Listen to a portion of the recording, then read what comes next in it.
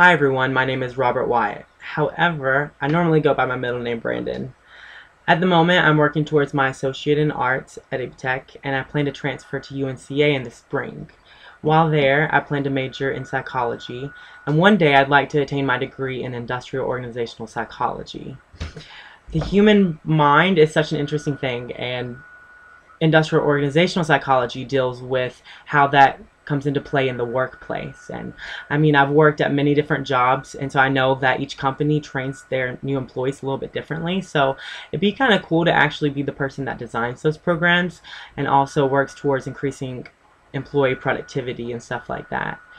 Um, to me, education is very important. I know that it's not the path for everybody to take because everyone's experiences are different. But to me, it's really important because I'm the first of my siblings to graduate high school, as well as the first in my distance family to go to college. So I want to be an inspiration to my nieces and nephews and future generations of my family and show that if you put hard work and determination into something that it will pay off in the long run.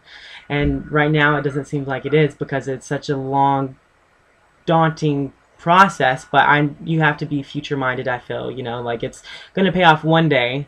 Um, I don't really get a lot of free time, but whenever I do, I'm really into the arts. Like I love to sing and write music and play the guitar. Um, it kind of ties in with psychology because it's really interesting how just a song can evoke so much emotion. It can make you cry or laugh or get angry. Like it, it really connects somehow with your brain, and the mind is a very interesting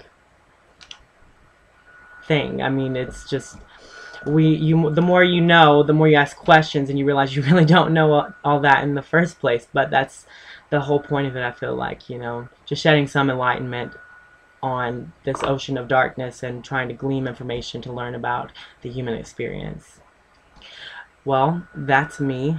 Um, like I said, I don't believe everybody's life path is the same. For me, that is education and continuing to work hard towards that but I feel like as long as we work towards the best possible version of ourselves, then that's what matters. Because, I mean, life is a big metamorphosis, it's a journey. And as Gandhi once said, be the change you wish to see.